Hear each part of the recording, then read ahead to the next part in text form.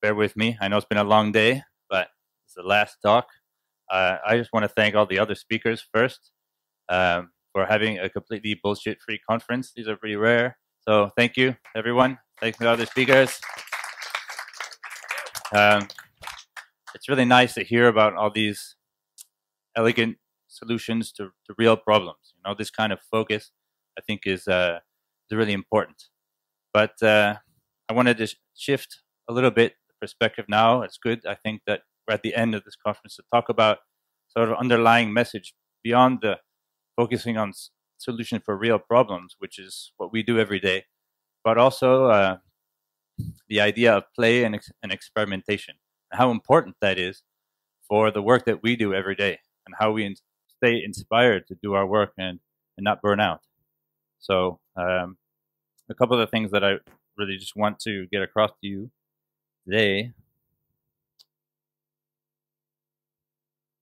Um, I really believe that the ability to experiment and play quickly, um, just like we've seen with a lot of tools that have been presented here today, um, is what drives change in our industry and in many others.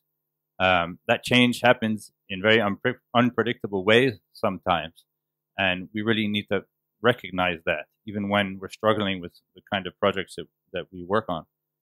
And above all, we really need to feed our creativity by publishing, just getting stuff out there, whatever form it is, however ugly it is, however we, much we feel it needs to be polished up before we can show it to other people, especially when we're in the presence of, of great programmers like all of us are in the React community.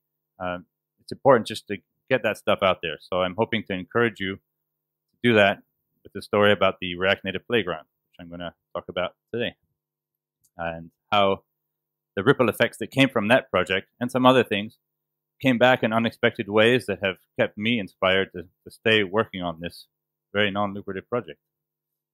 Um, it doesn't look like a slide it belongs here, but it does. I'll explain why. This is 1996 my first web design. And I'll explain It's kind of a, an embarrassing thing that I'd forgotten completely about until recently. I'll explain a little bit more about why later, but uh, I'm no longer embarrassed by it, so I've gotten over that.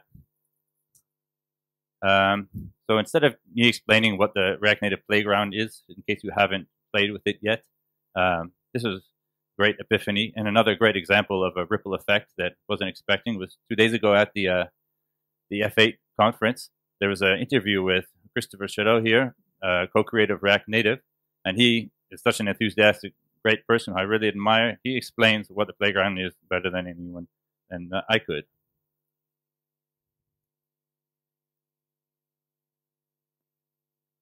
So this is a web. Uh, let's start over. And then the second thing I want to talk about is rnplay.org. So this is a way, if you've been doing like web development as JS Fiddle, so you can write your code on the website and then you can see the demo on, the side. And they've done the same concept with uh, React Native. You can write your code on the web and then you, there's an emulator running in the cloud that lets you uh, tr try with things. And the best thing is you can send the link to someone and he can just open his browser on his phone or whatever. So you don't have to download anything to no, do that. No, you get like a native app yeah. that you're looking at. That's so cool. Yeah, this is crazy. Yeah, this is crazy. crazy. This is crazy. I mean, this this is so great to see this because how many times do people say something's crazy? And what you've done is crazy. It could be useful or really cool, but this is crazy. And hearing that from this guy who basically inspired me to, to start working with React Native and, and actually has changed my career with the demo that he did a year ago showing how you can quickly reload a native application, experiment and play with native apps for the first time. Um, it's really inspiring to see this, and that unexpected effect is going to keep me inspired working on this project, even when it's difficult to, to keep pushing through.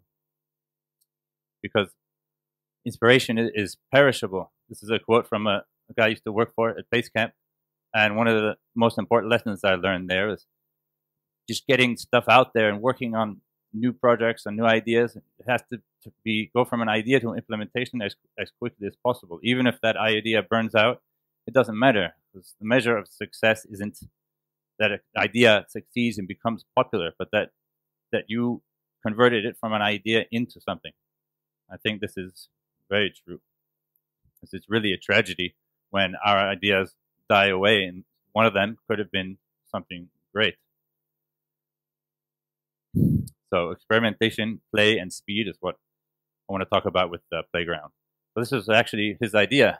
Uh, a year ago on IRC, he said it should be super easy to ride to get JS Fiddle-like experience. And I thought, yeah, that should be super easy.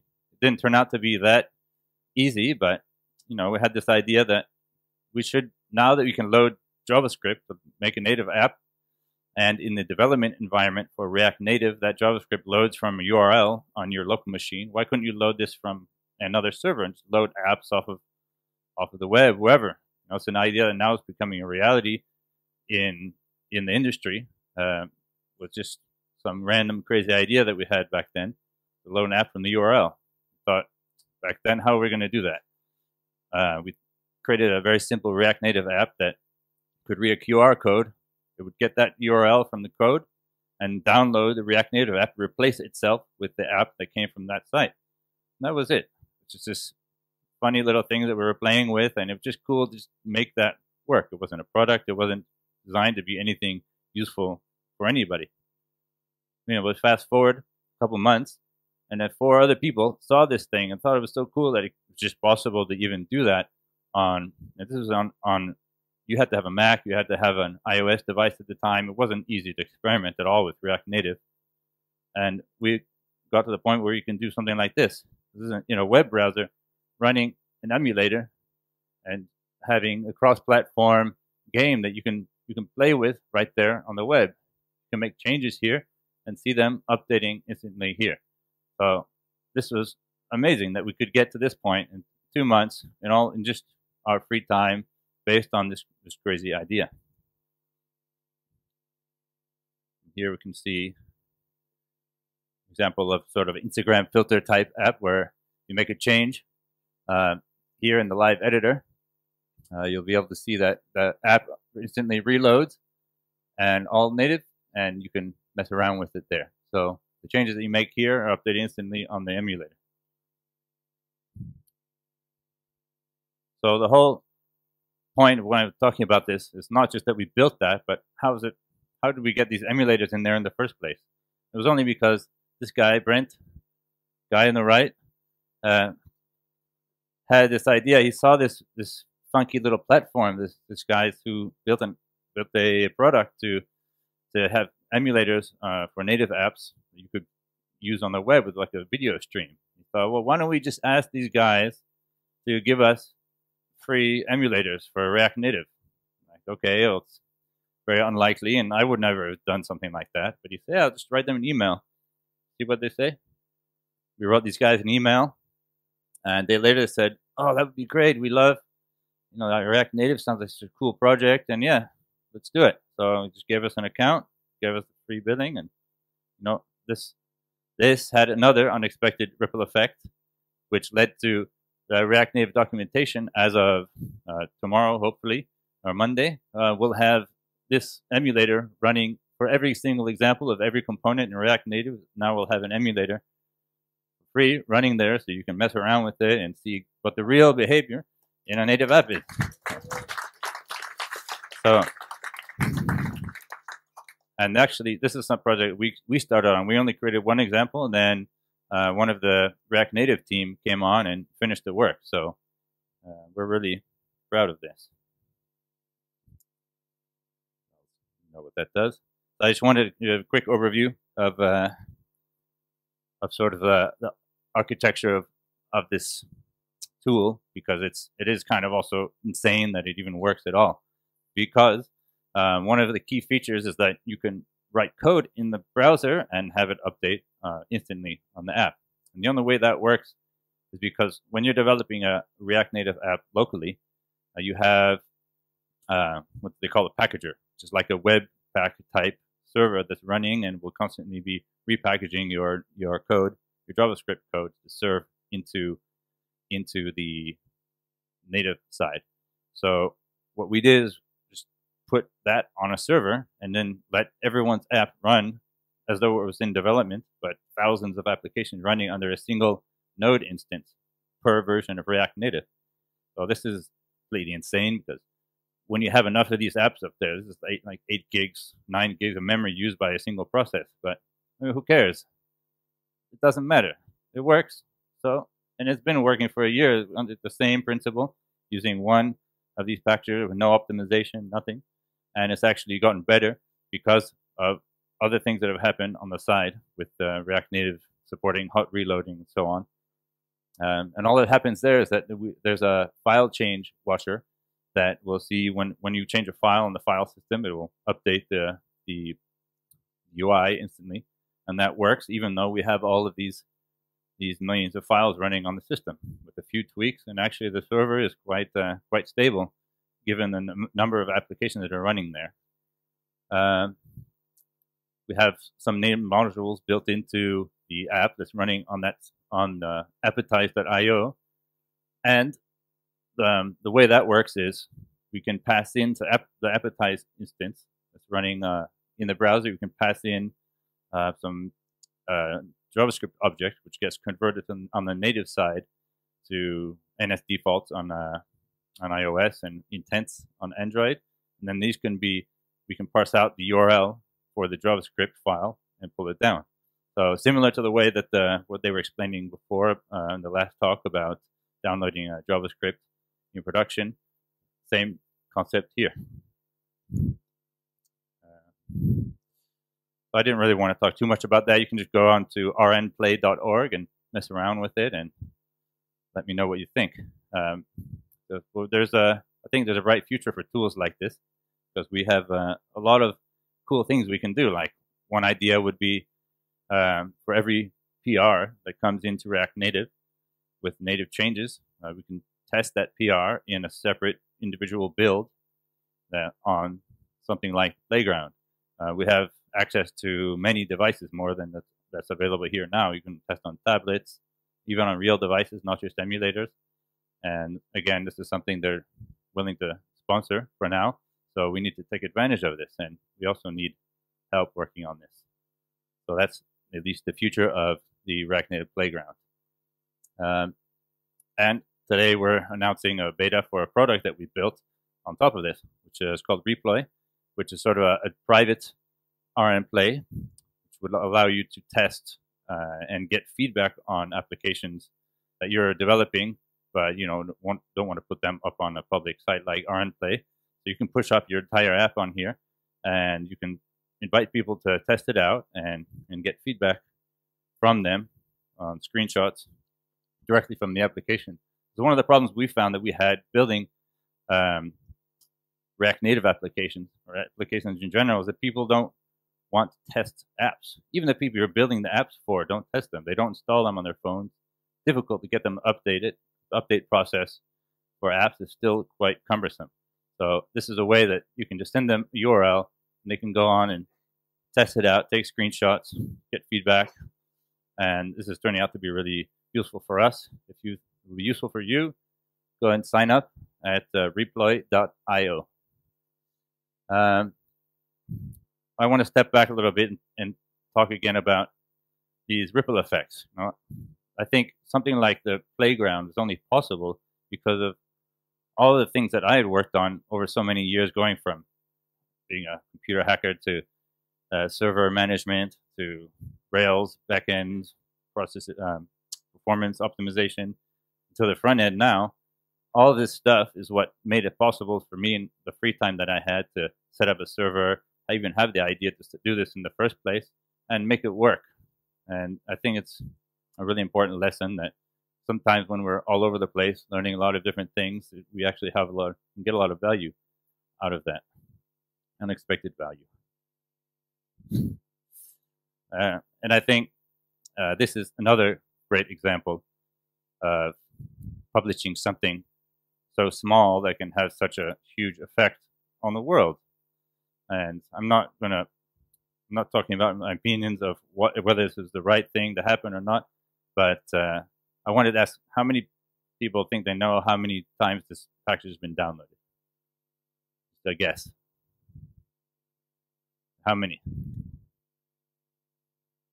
Okay, so 25 million times per month. But I don't know how, there's not many lines of code, but the, the point is that this guy published this tiny little thing, which didn't take very much of his time, but it had this huge ripple effect, which is, which has provoked really important conversations about our industry. Like, have we forgot the code? What is copyright and trademark law really about related to open source? These are all really important questions provoked by a few lines of code. And anything that any of us publish can have these kinds of effects too, and sometimes in ways that are totally unexpected. This guy should not expect this to happen, and it can be really useful. Know, this is a, there was a really interesting post by Nathan Conteny a couple days ago. Uh, I have to thank all these people for doing things two days ago that saved my talk. And uh, no, this is a really a good point. You know, something that's important to remember. I said I'd come back to this, and so it, this was my first web design for this hacker magazine, which you probably never heard of. And at the time, it was just you had to have a web presence. It was an important thing at the time, um, in a different way than it is now, as you know. But uh, I didn't know anything about this. I was a hacker. I thought the web was kind of garbage. What's the web for? us? But okay, I was going to I don't know Photoshop, do some effects, and you know I built this, and a couple about a year later, then the whole site was changed and it disappeared into the past and my memory as well. And then uh, and while I was building the playground, I don't know if you've seen, has anyone seen this show? Really cool show. I'm not want to promote TV shows, but this one is really cool. So it talks about this whole history, that whole time in the 90s when hackers were like a thing. And this guy is a computer hacker. So I was watching the show and there's a scene in the show where he's visiting, he's talking about his life back then and how he learned code, how he learned to hack, and how he learned to make, you know, to learn HTML. He's viewing the source on the site that I built. So and I was like, what? How is this, you know, how does this come back from there? You know, this is, this is crazy. You know, this is crazy. But it was there and it just made me think like, how's, how did that effect come from nowhere back to me through this this medium. And that's another thing that inspired me to just keep working on the things that you know sometimes were pushing against me. So I really want to encourage you through all of this to just make things better. If you're not, you don't have ideas, or you don't have something you really want to build. There's many ways that you can contribute into open source. I know this is kind of preaching to the choir, maybe, but I don't think so because I think there's a big um, gap between producer and consumers today. We're so focused right now on our, our work and the, the things we're working on a daily basis, but there's it's so important to just get these little little drops of water in and see what the ripple effects are that that come out of it. Um, I wanted to thank this team, uh, the React Native team, uh, React Native Playground team, who came together and uh, helped me build this. And uh, I want to just blatant plug for these guys who we talked a lot about GraphQL and Relay and so on today. These guys have a uh, GraphQL database as a service, which we're using for this product, and we're going to be porting. They're also going to be sponsoring the playground when we port it to Relay and GraphQL. Right now, it's running with the Rails backend, and we want to port it over so we can get some more community enthusiasm around that.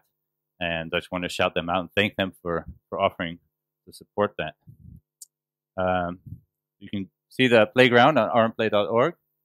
Uh, our product, Reploy, reindex, and Appetize for the simulators. Uh, that's it. That's all I had to say. Thank you. Thank you very much. Thank you very much, Joshua. We have uh, time for a couple of questions, then we wrap up. Uh, anybody? day. There's somebody at the back. Wait.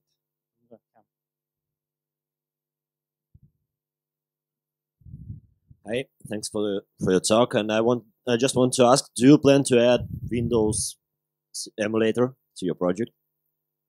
Uh, sorry, I didn't understand. Do you plan to add Windows emulator? Windows. Um, if if they add one, we'll add one because we're pretty dependent on their service, and I imagine as Windows becomes more popular, they they will add some in. So I don't know. We'll see. I don't even know where we would find one right now. So if you know about one, we'll, we'll add it in.